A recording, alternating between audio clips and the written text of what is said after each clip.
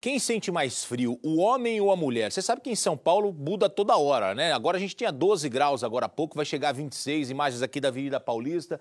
O frio que vem derrubando as temperaturas em todo o estado de São Paulo não intimidou um morador, o seu Manuel. Ele é do Paraná, onde a temperatura também está oscilando bastante e lá faz mais frio ainda. O seu Manuel já é conhecido na cidade por não sentir frio. Não tem massa de ar polar que faça com que o seu Manuel coloque uma camiseta. É sério, dá só uma olhada. Uma manhã ainda mais gelada. Nos termômetros, baixas temperaturas. Carros cobertos por finas camadas de gelo.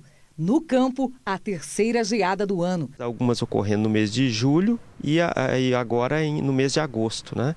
Mas não é anormal também ocorrer geadas nesse período de agosto. E para se proteger de todo esse frio, só mesmo bem agasalhado. E eu tô com três blusas. Três, três blusas ainda tá frio. Tá frio. Ah, mas seu Manuel é exceção. O famoso português encara todo esse frio assim, de peito aberto, literalmente. A informação que chegou até nós é de que a última vez que o famoso português usou uma camisa foi há 10 anos no velório do pai. Teve geadas na região. E bem pesada. E o senhor assim? Sim. É o costume. Não sente frio, não? Não, é.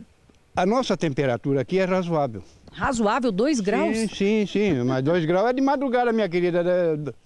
2 graus de madrugada, eu tô na cama dormindo, eu não tô na rua, vou ficar na rua. Mas na hora que o senhor saiu, tava 4 graus, e aí? É por aí. E daí? É assim que ele fica sempre, seja no frio ou no calor, em casa ou na rua, o costume é mantido desde quando ele tinha 18 anos de idade. Detalhe, hoje seu Manuel está com 70. Pode estar o cheiro que for.